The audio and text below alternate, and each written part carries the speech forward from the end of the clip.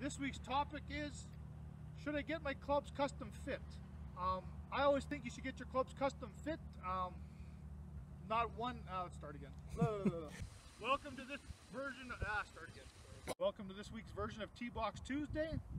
This week, as many uh, welcome to this week's edition of Tee Box Tuesday. We've been asked by a few of the. Uh, start again. Welcome to this week's version of Tee Box Tuesday. Uh, as you manage, uh, sorry again. The grass is really long. so what do you do? Do you take a penalty shot? Seems silly. You only have to move it a couple of, couple of, let's start again. Feels a little better. That one went straight. And I marked on the toe, so it's not going to work. For more tips like this, please visit one of our PGA. Ah, around the green, we have a longer putt, but it's better than taking a penalty. For more tips like this, visit one of our PGA Canada, blah, blah, blah, blah. Splash the water out, and the ball should come out with